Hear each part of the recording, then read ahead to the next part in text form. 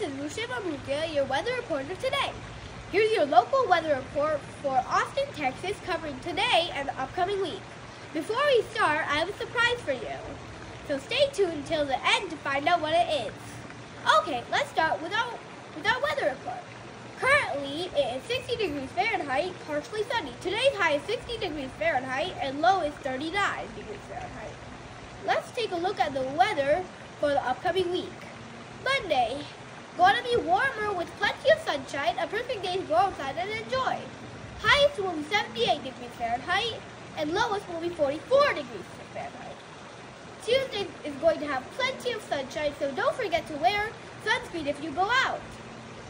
Highest temperature will be 80 degrees Fahrenheit and lowest will be 59 degrees Fahrenheit. Wednesday, very warm, partial sunlight, but be prepared. A thunderstorm might roll in during the afternoon.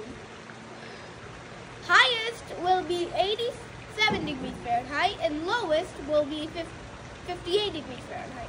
Thursday, the sun will be shining, but there will be some high clouds in the sky.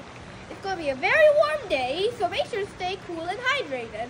Highest temperature will be 91 degrees Fahrenheit, and the lowest will be 64 degrees Fahrenheit.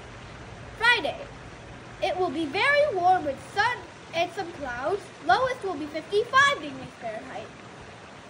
Saturday, it will mostly be sunny but not as warm, but pleasant.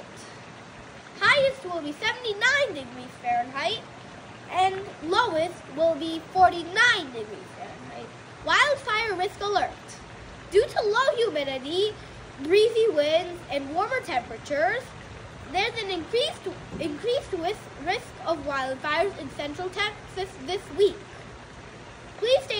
Informed and take necessary precautions during outdoor activities. And now, it's time for the surprise. Next week, there will be a lunar eclipse. So make sure to look up at the sky and enjoy this amazing event. That's all for today's weather report. Stay safe and enjoy your week. Thank you.